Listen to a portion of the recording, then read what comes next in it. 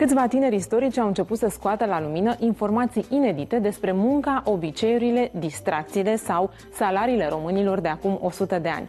De exemplu, cât câștiga un vizitiu, dar și ce leafă avea un profesor universitar. Vedem în minutele următoare la Bonton.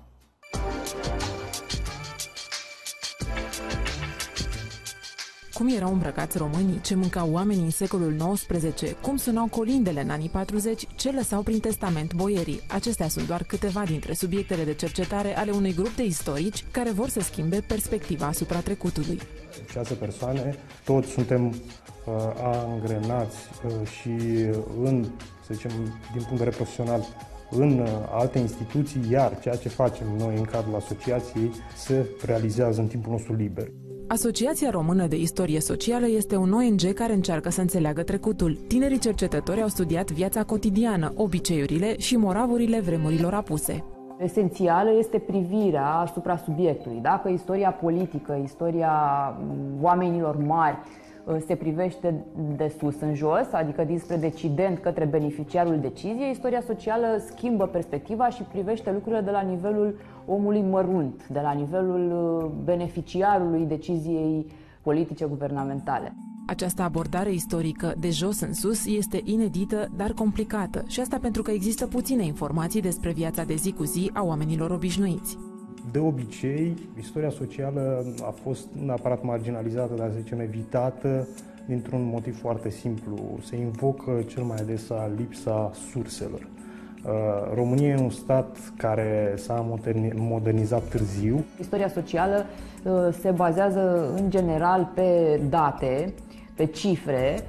State occidentale au o tradiție mult mai bună în a înregistra, adică au mult mai bine pus la punct, în alte cuvinte, sistemul de statistică pentru spațiul românesc este dificil, este ceva mai simplu de făcut pentru Transilvania, care a înregistrat, de pildă, nu știu, evoluția impozitelor de la Principatul Transilvaniei până la 1918. Istoria socială nu are nimic de a face cu comunismul sau cu ideologia de stânga. Ea se practică și în societăți cât se poate de, de dreapta. Este pur și simplu o altă perspectivă asupra, asupra trecutului umanității.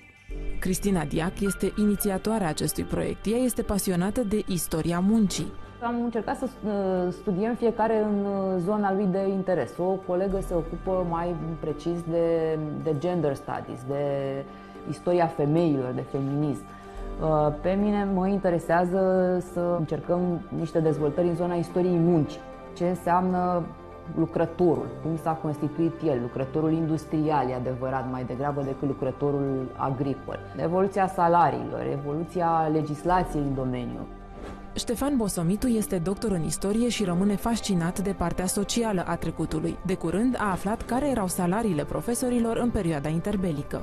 Există diferențe, să zicem, destul de însemnate între uh, ceea ce înseamnă, sau statutul profesorului din societatea actuală și statutul pe care îl avea profesorul, să spunem, în anii 20 sau 30.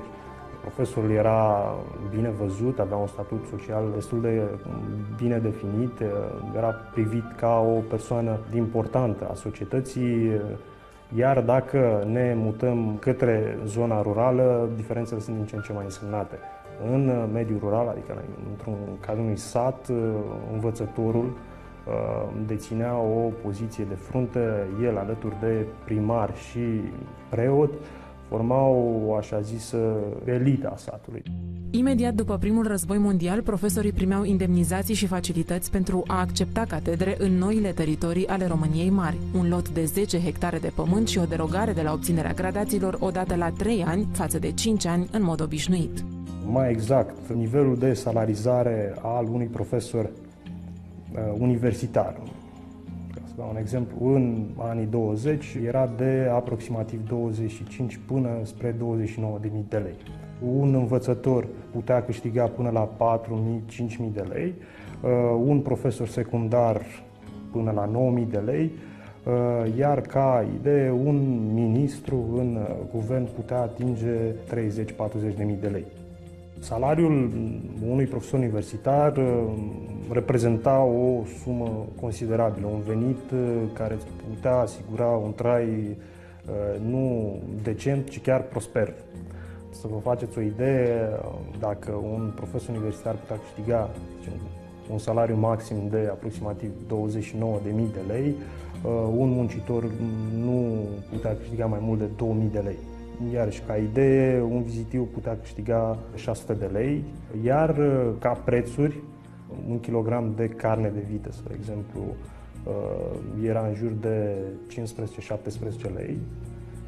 Carnea de porc, în mod curios, era mai scumpă, putea costa între 22 și maxim 26 de lei, iar, să spunem, un kilogram de pâine albă în jur de 5-7 lei.